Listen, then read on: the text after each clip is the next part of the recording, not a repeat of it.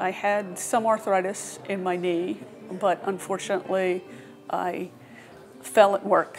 And over the course of the next several months, I did a number of different procedures to try to get it better, but ultimately, they gave me a, a total knee replacement.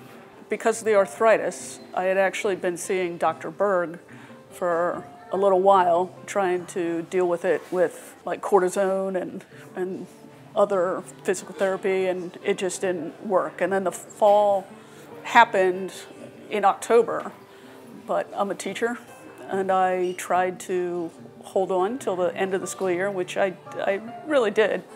Um, I didn't have the surgery until May. And during that, during that time, though, from the October, October on, we were doing some of those procedures, trying to eliminate having to have the total knee replacement. The day of surgery, when they woke me up, there was less pain. I mean, it was it was clear. I really only had one day of real bad pain after the surgery, and that was the day after surgery. I am incredibly pleased and thankful.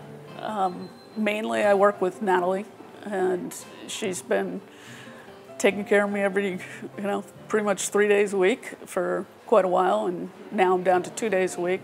And what's good is, you know, they know who I am, they know what I can do, and pick the right exercises for it.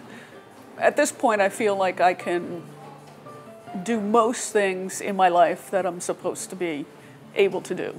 I'm thankful for Town Center Orthopaedics, both for Dr. Reeves, Dr. Berg, and the physical therapy side with Chris and Natalie and Justin and everyone else that has watched me for the last few months.